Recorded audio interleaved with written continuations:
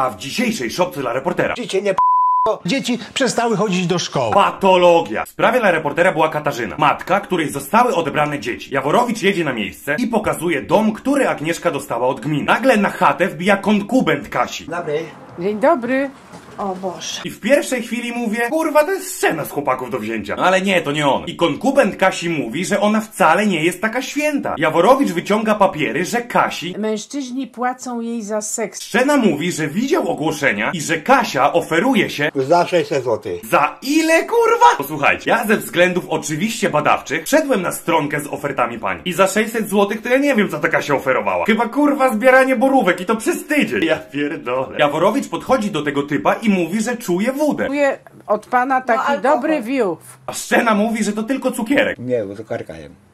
Ja pierdolę, jaka patola. Najebany na wywiad przyszedł. Szczena też mówi, czym zajmuje się zawodowo. Chowałem psiaki. Nie oszczeniła mi się suka. Ale chuj głupi źle policzył i suka oszczeniła sześć psiaków. Więc ten pierdolony dzban Ale mówię, no sześć wychować. Mówię, nie da rady, nie? I zabiłem cztery szczeniaki. Ty skurwy synu ty. To za pierdolona patologia. Ten szczena się w końcu wkurwia i wychodzi. Dobra, idę, bo nie wyrobię za chwilę. Wracamy do Kasi. Kasia mówi, że jest dobrą matką. Bo ma mi ona dzieci wytatuowane.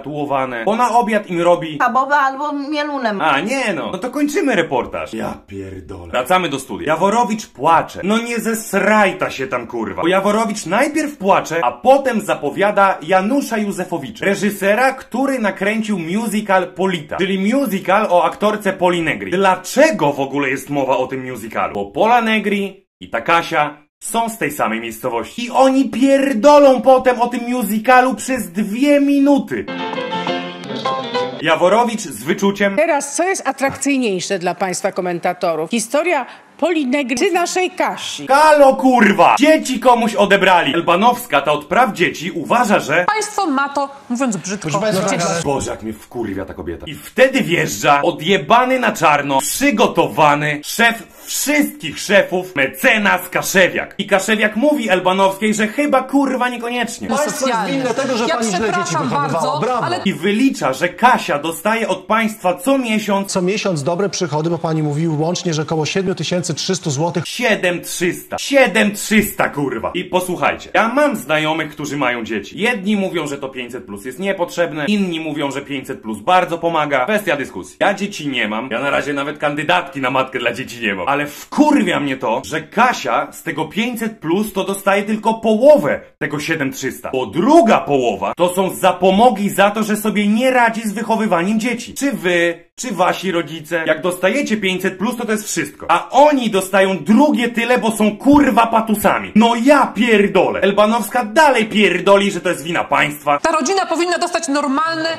mieszkanie. Ja pierdolę kobieto, weź i zjedz mielunę, bo pierdolisz jak potłuczona. I widać, że Piotrek już się mocno wkurwia. Ale nie zgadzam się na czarno-białe przedstawianie nikt nie takiej mówi o sytuacji, czarno-białym że przedstawianiu. jeżeli kobieta nie radzi sobie z dziećmi, to winne jest państwo. Właśnie, bo to nie można tak stwierdzić albo czarne, albo białe. I zobaczcie teraz, jak mocno widać po Kaszewiaku, że on już ma w chuju to, że to jest nagrywane w telewizji i że najważniejsze jest powiedzenie prawdy. Moim zdaniem, żeby taki stan patologiczny przerwać, to można zrobić tylko jedno. Po prostu odebrać po 14 latach, to jest nawet za późno. Odebrać te dzieci i przekazać jej do rodziny. Jaki ten człowiek to jest szefu? W życiu nie widziałem Kaszewiaka aż tak wkurwionego. Śmiesznie, że Józefowicz jako aktor grał w poranku Kojota. To jest pan Krzysztof Jarzyna ze Szczecina. I w filmie ziomkował się z szefem wszystkich szefów. Pan Krzysztof Jarzyna ze Szczecina jest szefem wszystkich szefów. I zobaczcie, koło kogo w studiu siedzi Józefowicz. Historia zatoczyła koło. Do rzeczy. Piotrunia dalej jedzie z tą patologią. Pani utrzymuje się z 500 plus, ze świadczeń. Pani mówi, że pieniądze nie są problemem i nie były w tej rodzinie.